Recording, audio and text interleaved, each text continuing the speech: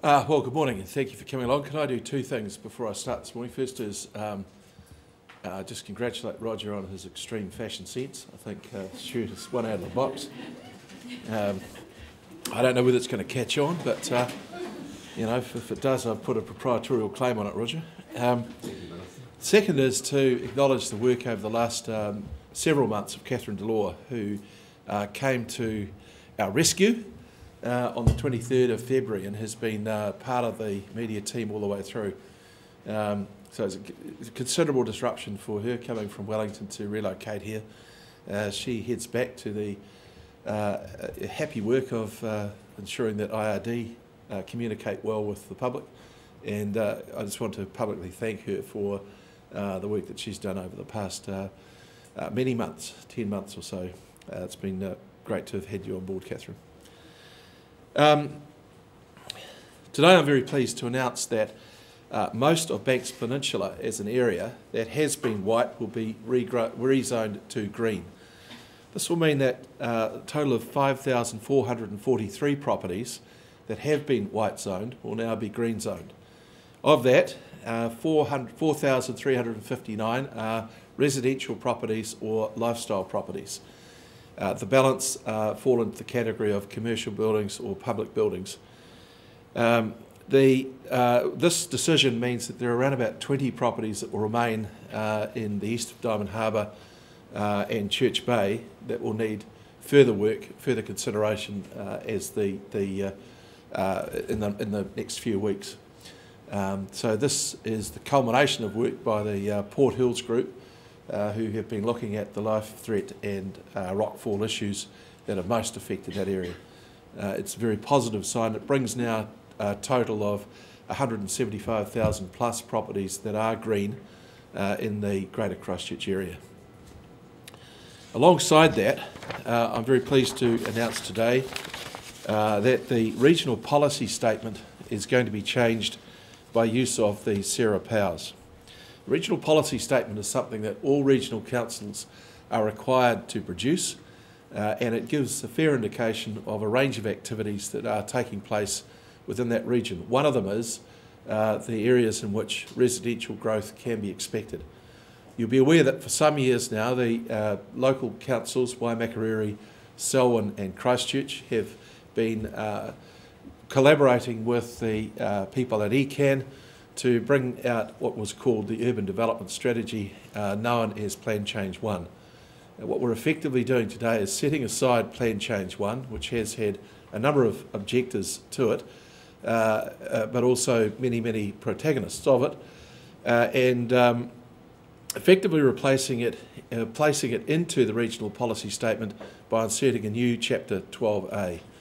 I think the uh, time that we've taken to get to this point has been fair to all of those uh, who had an interest in it, uh, and this move is, is uh, supported by all of the uh, local authorities uh, who are involved.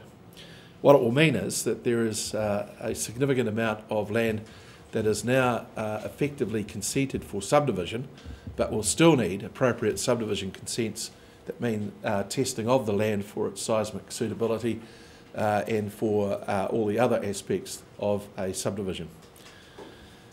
Uh, alongside that, um, I'm also able to confirm that the economic indicators for uh, Canterbury at the moment are extremely strong. The CERA officers developed uh, some months ago a dashboard of indicators that were designed to show what was happening within our local economy. And I think the things that are most encouraging is that while we have uh, a, a, slight negative on uh, the population side, we also have uh, look, what looks like trending growth in population figures. Uh, but, but more importantly, the Paymark data, which is the EFTPOS uh, expenditure inside the Greater Christchurch area, uh, continues at 95% plus, meaning that we are in a, a, pretty settled period and can look forward to that growing in the months ahead. We've been very cautious about these indicators uh, but I think it was necessary to set up that dashboard so that we could have uh, an, an, authoritative understanding of exactly what's happening in our local economy. Some of the good things are the growth in the manufacturing sector and the growth in the export sector. I think those are tributes not only to the people who run those businesses, uh, but also to the wider Canterbury workforce. There'd be virtually no one in the greater Christchurch area who isn't at the moment making some sort of concession to the to the workplace or for the workplace in order to keep the business or the activity running. And I think that is this uh, in, these indicators are a great tribute to uh, people's willingness to step up at a time like this. Whether it's just working in um, you know cramped uh, temporary facilities um, or having to take a different route to work, I think it's a, a great tribute to the, the workforce as well as those who have um, uh, committed uh, to, to keeping those businesses here. Um, I think uh, the the import export figure of 990 million uh, for the August month uh, was was a particularly good indicator of uh, the, the, the future for the uh, for the immediate future for the economy. And the most encouraging thing is that job advertisements in Canterbury, as you would expect in this circumstance, are up 73% on the same time last year. So uh, we're in pretty good shape here. Uh, red zone settlements are continuing, um, and uh, Roger will talk more about those in a few minutes. I think uh, the, the, comment I would make simply is that uh, more than 27% of the uh, now six or so thousand households involved uh, have chosen one of the government's options.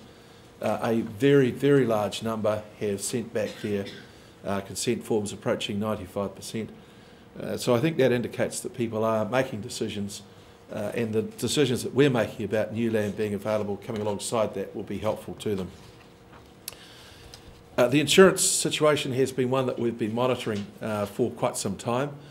Uh, and yesterday it was, uh, we, we, received a report from IAG, uh, a large insurer in New Zealand, that they are coming back on risk in Canterbury, certainly in the Ashburton district and in the Hurunui district. So they're closing in on Christchurch quite rapidly and I think this should be seen as an extremely encouraging trend.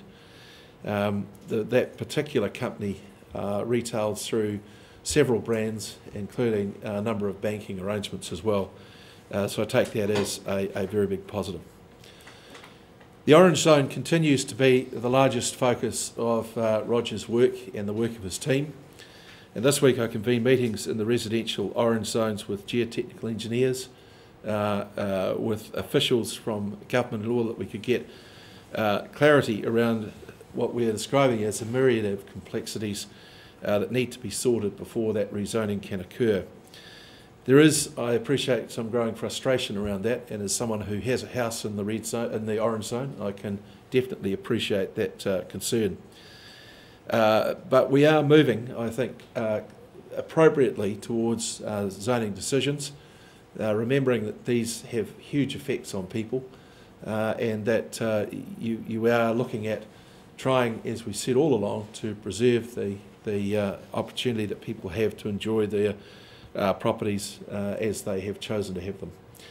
So I can't give you an increased timeline or a shorter timeline, but I would want to make it clear that we are making an enormous amount of progress and we would expect to have those decisions uh, as soon as all of those complexities are properly sorted.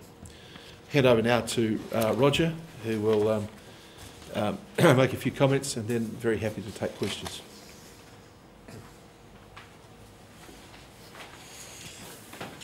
Just, I mean, just on the issue around the orange and the white zones, I think sometimes people feel a frustration when they hear an area has gone from um, white to green, that we've sort of left the orange people out the, the people working in the white zones um, around the Port Hills and Banks Bridge are different, different geotech engineers to the ones that have been working in the orange, to the, the orange zone. So uh, we haven't, there isn't, there isn't a case of sort of resource was taken from one area and put in another, and that's actually delayed orange zone decisions. In terms of the residential um, red zone, we've done 135 settlements, and there's another 360 to date. Um, so far, a third of the people have selected option one, um, and two thirds have selected option two. So we would expect over time, though, it's probably going to end up being more like a quarter and three quarters. That is, one quarter will select option one and three quarters will select option two. The reason for the bias at the moment towards option one is I think it's, um, it's uh, people are still waiting to deal with their insurance companies to find out exactly where they end up before they can actually, um, with confidence, select option two. Um, demolitions. The number of buildings signed off either for full or partial demolition since February the 22nd is now 1,243. Um, and there's been 699, 600, nearly 700 completed demolitions. 530 of those have been have been full demolitions. So we're nearly nearly half the buildings that need full demolitions have now been done. There's 95 demolitions underway right now. Um, significant buildings, there are 20 underway at the moment, and there's another 16 being tendered or reviewed. Um, I had the pleasure of going into the Grand Chancellor yesterday. Um, I haven't actually been in before. It's a bit like going to the dentist in some ways. You sort of know you need to go in there and, and, and do something, but you know you don't really enjoy it when you're in there. You don't really want to go back again either. Um, but the building is being propped at the moment, and so they're putting in you know propping to make it stronger so people can actually work further up in the building. Um, we'd hope to sort of have some big drawings for you explaining how that demolition process will work, but we'll have those for you next time. We want to do it, we want to do it properly with big pictures, and I haven't got pictures that are good enough for me anyway. But um, there's also an, an, external staircase being installed over these next period of time, so more people can be working in there, and also a lift, so more people can be working in there at once. Um, the Copthorne Durham um, appears to have been further damaged in Sunday's earthquake. So um, some of the internal columns um, were damaged, it would appear, from the quake. So we're doing some work at the moment, or we're doing the, the, the, the, the demolition guys are doing some work at the moment to strengthen those so that work can hopefully resume um, next week. So, you know, that's, that's, a, that's a setback for that building by about a week by having to do that strengthening work in the meantime. The Clarendon, um, tenders um, closed this morning. Um, we received three, I understand. Um, so we've now got to go through and just consider what those different tender prices are and the different conditions around those tenders. But it's been a, a you know it's been quite a thorough process. We've had um, you know expertise from both within New Zealand but also internationally on that. So the tender process is underway at the moment for the Convention Centre, Westpac Tower, the Crowne Plaza, the ECAN and the Markhams building both on Kilmore, the Trade Union Centre on Armagh, and the Internal Affairs um, building on Cashel Street. Just staying on Cashel Street, um, we're still on track for the opening for Cashel Mall um, at the end of October. Um, yeah, I mean, I mean, I'm, I'm still confident we're going to get there, Minister. So stock delivery, in fact, is going to um, be is going to happen next week. We're going to start happening next week. Staff and customer car parking, the soft landscaping, which is I think you know plants and that sort of stuff. Um, fire engineering, security, and all being done at the moment.